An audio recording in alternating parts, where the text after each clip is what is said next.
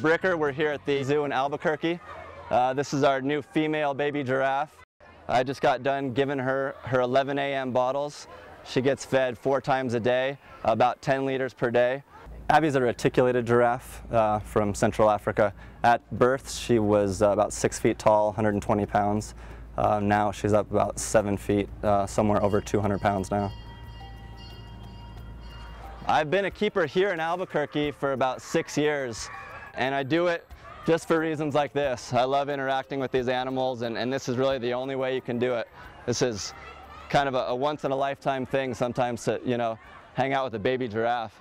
She should have a pretty completely normal upbringing. As long as we get her back in, she'll come and get fed by us, but other than that, she'll be a part of the herd. With giraffes or with any animals, just in general, I think what zoos are doing is they're a place where people can come see the animals, especially little kids.